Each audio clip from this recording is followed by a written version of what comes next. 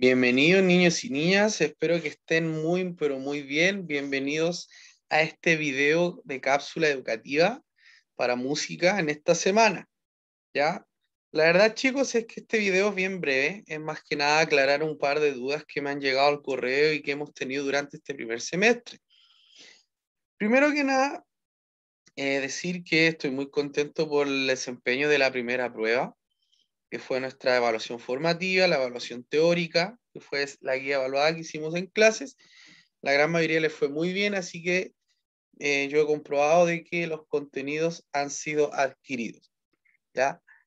Eh, para los que no recuerden, estuvimos viendo un poquito sobre los tipos de instrumentos, sobre los cuidados de la voz, sobre los instrumentos si tienen que ser eh, de cuerdas o los cordófonos, los de viento son los aerófonos, los de percusión se dividen en membranófonos e idiófonos, los que tenían membrana y los que cambiaban su sonido de acuerdo a su tamaño.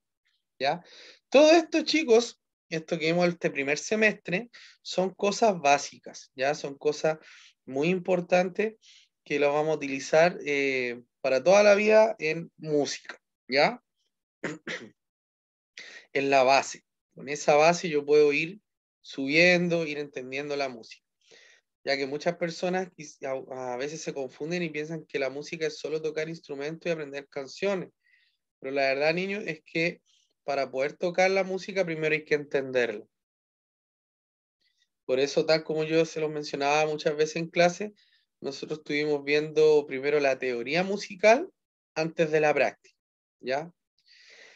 Bien, eh, el objetivo de la clase, chicos, eh, siempre fue eh, comprender principalmente los elementos del lenguaje musical, que fue lo que estuvimos viendo durante este primer semestre. Pero ahora vamos a empezar a ver un nuevo objetivo que es la interpretación instrumental. Cuando yo me refiero a la interpretación es cuando yo traspaso del papel a la práctica, ¿ya? O sea, de la lectura de un pentagrama, de una partitura, de una nota musical, yo la debo tocar en el instrumento. Cuando yo hago eso, estoy interpretando. Entonces, la verdad, niños, es que esto es bien breve. Lo que yo deseo es que las personas que ya están un poco más avanzadas en su instrumento, ¿no es cierto? Que ya dominan el tema del lenguaje musical, por ejemplo, saben leer notas en un pentagrama, saben tocarla. Me gustaría que durante esta semana pudiesen practicar canciones. ¿Qué canciones? La que ustedes quieran. Lo que sí les voy a dar mucho ojo, que hay veces que uno se mete a YouTube y coloca cómo tocar cierta canción. Y por ejemplo, en el caso de los que tocan melódica o piano, aparecen unos pianos virtuales donde se tocan solas las teclas y ahí uno va descubriendo cómo tocar la canción. Esa es una excelente medida para poder aprender a tocar canciones. Pero tienen que también saber qué nota están tocando. Por eso lo importante, y que yo vengo diciendo desde el principio de año, es que marquen las notas de su instrumento. Ya la gente que toca metalófono, la gente que toca teclado, la gente que toca, eh, eh, no sé, eh, piano de esto orgánico, físico, cualquier tipo de instrumento de teclas, marquen las notas, ¿ya?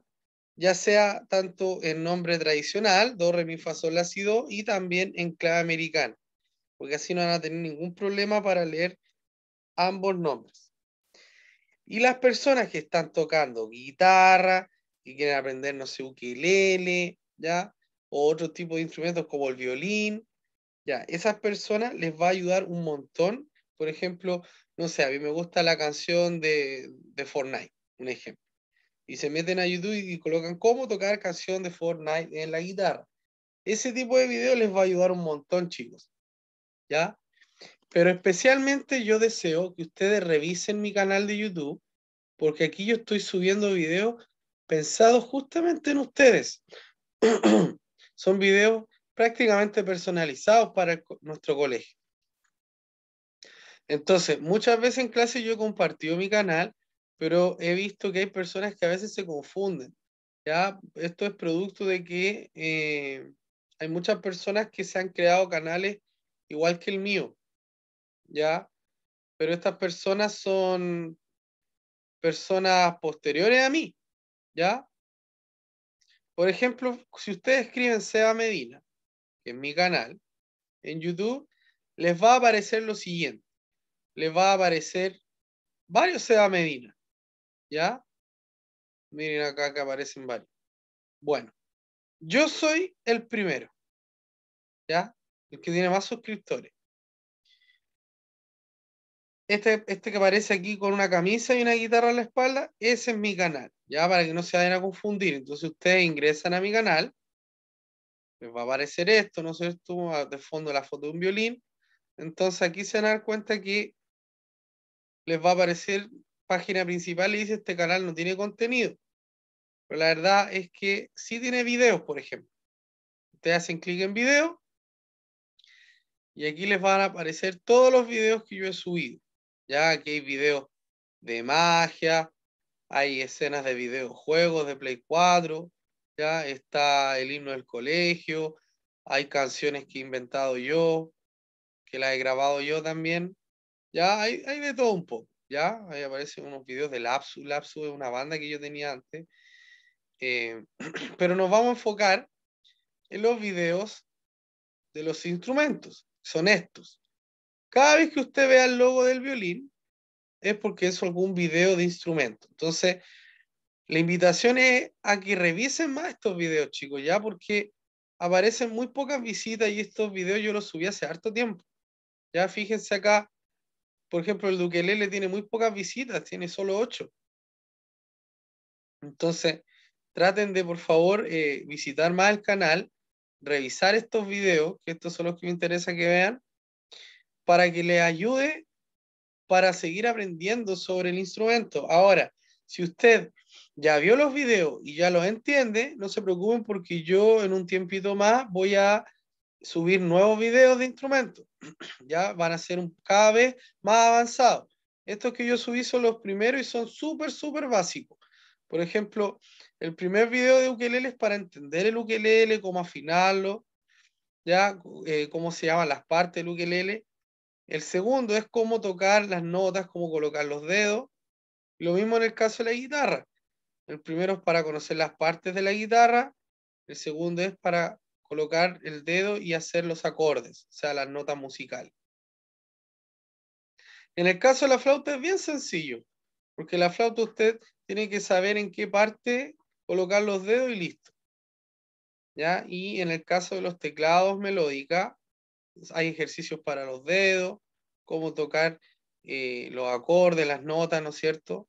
Entonces la invitación es a ver estos videos y tener bien claro todo esto, niños, para que después más adelante, cuando yo empiece a subir videos más avanzados, usted no tenga inconvenientes y se le haga muy, muy fácil aprender a tocar instrumentos, ¿ya? Bueno, y el que he visto que ha tenido más visitas es el, sobre cómo afinar los instrumentos de cuerda con la aplicación Guitar Tuna. Ya, esto es súper bueno porque así ustedes van a mantener siempre su instrumento afinado. Ya, así que muy, muy bueno que estén viendo este video. Ya, niños. Entonces, mi invitación es las personas que aún no aprenden a tocar instrumentos, que escojan el que más les gusta y revisen el video. Ya, si tienen cualquier duda o necesitan que yo los apoye en cualquier cosa, se pueden grabar ensayando, me lo mandan a mi correo y yo les puedo ir ayudando. Ya, tenemos que adaptarnos a este contexto de pandemia, chicos. Ya, obviamente que sería mucho más fácil enseñarle en la sala a todos, pero como aún no podemos, les pido un poco de paciencia con eso. aprovechemos las herramientas virtuales, ¿ya? Entonces, eso en el caso de las personas que están aprendiendo a tocar instrumentos. Y en el caso de aquellos que ya saben tocar algún instrumento, eh, los invito a irse aprendiendo poco a poco canciones, ¿ya? Porque eso les va a ir ayudando a soltar los dedos, a desarrollar más el tema de la audición sonora, ¿ya, niños? Y recuerden que cualquier, cualquier duda me pueden preguntar. Este segundo semestre vamos a empezar a ver más sobre diversos tipos de instrumentos. Obviamente yo el instrumento que siempre pido es el metalófono, pero si usted quiere aprender otro instrumento y puede obtenerlo, ya sea que se lo consiga o que compre uno, primero escoja bien cuál es el que más le gustaría aprender. Y ahí se lo consigue. ¿Ya, niños? Entonces, la idea es que ya empiecen como a pensar qué instrumento puede ser, porque el segundo semestre vamos a trabajar mucho más con el tema de los instrumentos. ¿Ya, niños? Bien. Cualquier consulta, entonces, ustedes saben que me la pueden hacer llegar. Cuídense mucho y que estén muy, muy bien, niños. Chao, chao.